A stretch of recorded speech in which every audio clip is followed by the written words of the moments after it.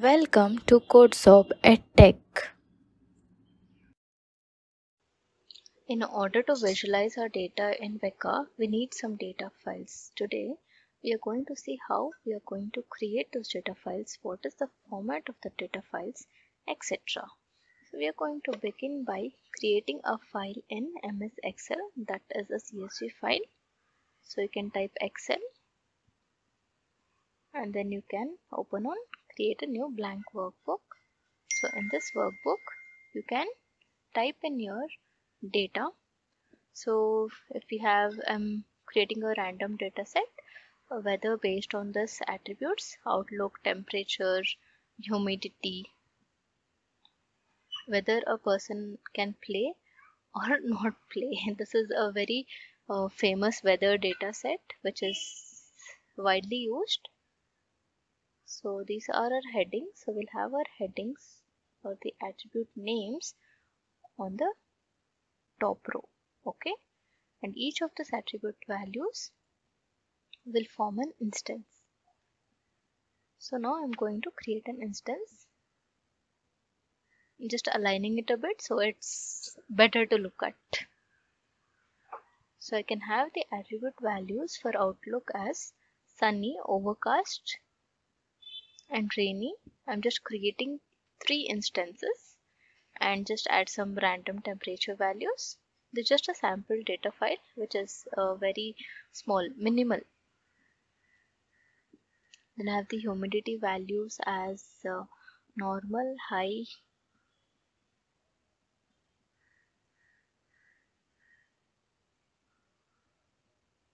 Then I'm adding whether it is windy or not windy so based on each of these instances, we are going to decide whether it is possible to play or not. So sunny, outlook sunny, temperature 20, humidity normal, windy true, play yes. This is one instance. Okay. So we have three instances.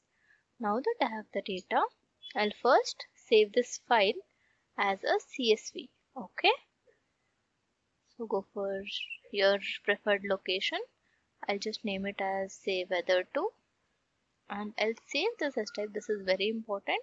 You have to save it as CSV okay? CSV UTF-8 is what I'm preferring. So I'll save it as CSV file.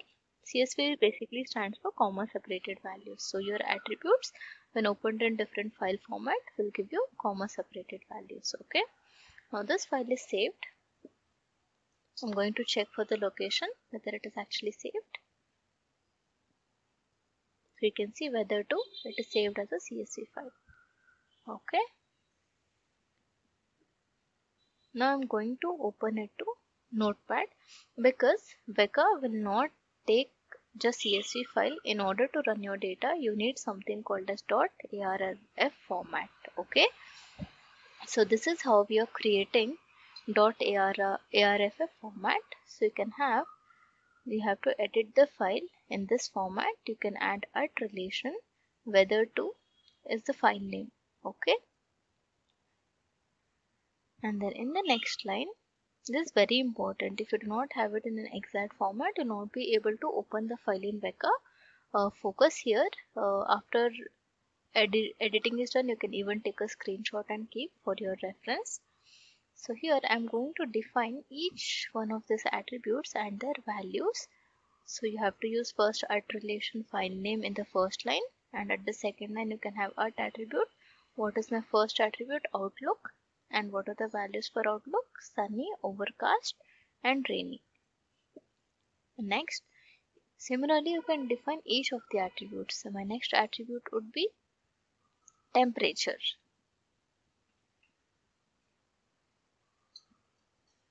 Right so here we have five attributes. So for my ease of creating the file I'll add five five attributes and then give the details of each of the attributes okay? You can follow the same format just copy paste it will save your time. So my next attribute is temperature. And even this I'm copying and pasting so that uh, you know it just saves time and you do not make mistakes. And then we have humidity. and then we have windy and play. So ARFF is attribute relation file format which is YTUsion Weka and uh, this format is supported and coming back to this attributes you can see that temperature has numerical values. So instead of defining I'm like outlook I'm just going to write it as real. And next coming to humidity you can see also consider the values from here. Humidity has normal and high. You need not add repeated values just add the unique values that are available. So unique is normal and high. So we are just going to add normal and high over here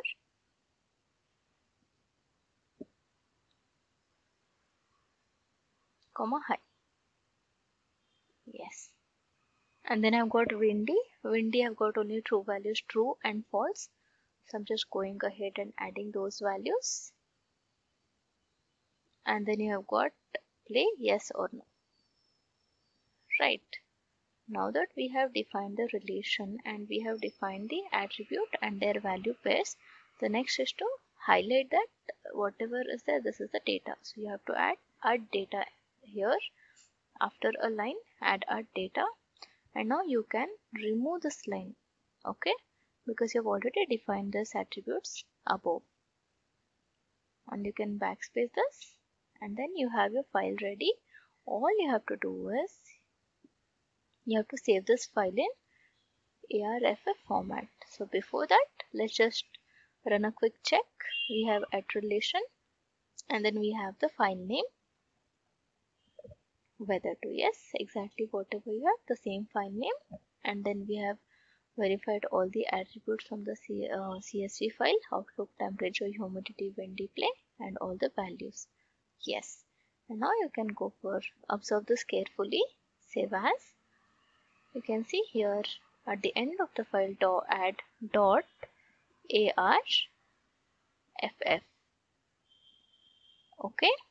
And save as type instead of txt make it as all files. Okay. And go ahead and click on save. And this also you can make it as UTF-8. Okay encoding and click on save over here yes now the file is saved let's go and check it so you can see that the file has Weka logo you can see Weka logo on the file so this file is saved as ARFF data file you can see its properties as well so if you open it the file will directly open on Weka you have to double click to open it and you can see the file in Weka and you can see the associated visualization.